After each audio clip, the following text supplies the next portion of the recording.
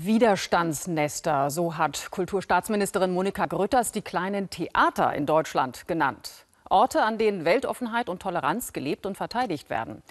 Wie wichtig sie sind, zeigt sich auch daran, dass die UNESCO die deutschen Theater sogar mit auf die Liste des sogenannten immateriellen Kulturerbes genommen hat. Gerade in den ostdeutschen Regionen, in denen Pegida und Co. derzeit lautstark Stimmung machen, stemmen sich viele Theater gegen Einschüchterung und Fremdenfeindlichkeit.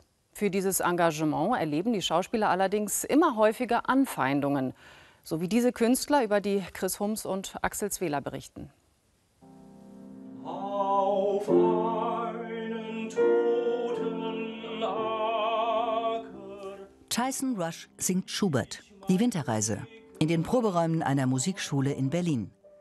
Weit weg von den Bühnen in Thüringen. Seine Festanstellung dort hat er gekündigt wegen rassistischer Anfeindungen. Es war zum Beispiel im Wirtshaus und äh, auf der Zugfahrt von Leipzig nach Gera, äh, wo man dann als Neger im Viehtransporter betituliert worden ist. Als Neger im Viehtransporter? Ja, korrekt.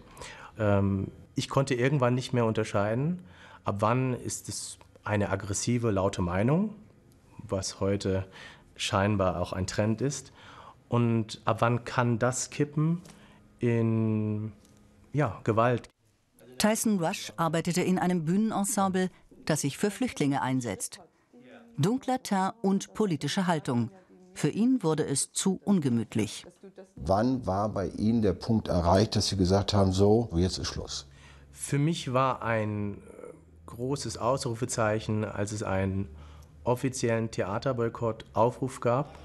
Das Theater zu boykottieren, dies fordern Anhänger des Bürgerforums Altenburger Land, denen, ähnlich wie Pegida, die ganze Flüchtlingspolitik nicht passt.